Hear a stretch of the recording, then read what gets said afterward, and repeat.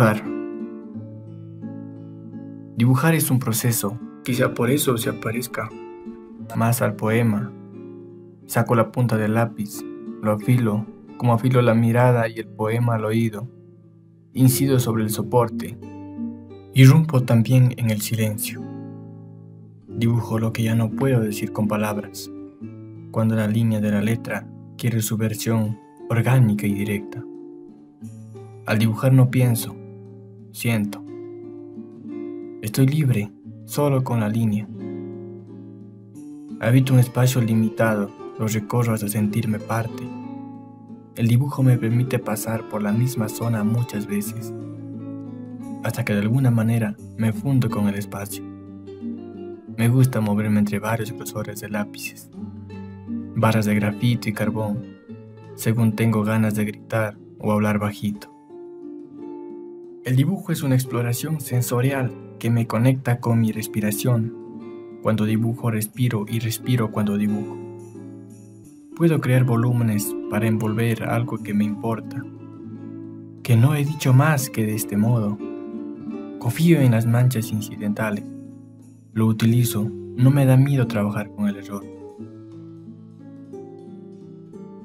Con el dibujo acentúo cosas que ni la plasta del pigmento ni el color me permiten. Dibujar es quedarme, acariciar. Una manifestación visible del deseo. Una forma de erotizar. Hay placer a sobar el papel, pero también dolor. A veces la punta se quiebra y deja su huella vulnerable, iracunda o impaciente. El dibujo sensorial y emocional no siempre requiere de la razón como el lenguaje verbal. Dibujo cuando no puedo aclarar las cosas con palabras. Me gusta el sonido del dibujo, sus diferentes ritmos y su cadencia. Apoyar y soltar la línea en el silencio.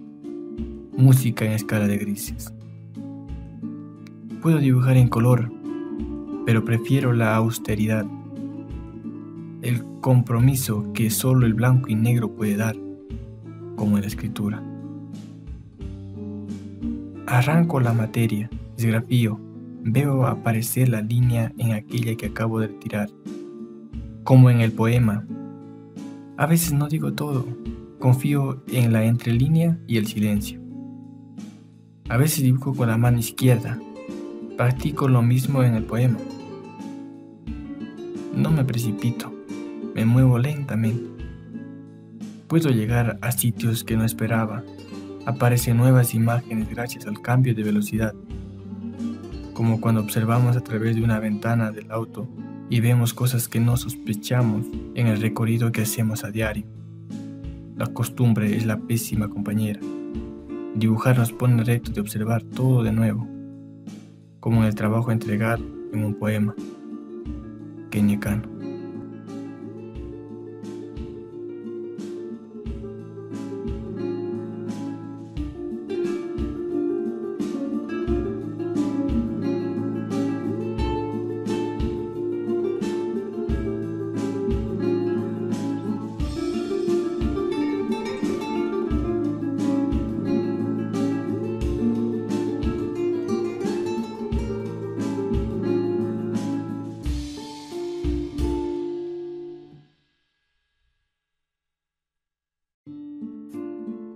Quiero mandar un saludo para todas las personas que me siguen en mis redes sociales.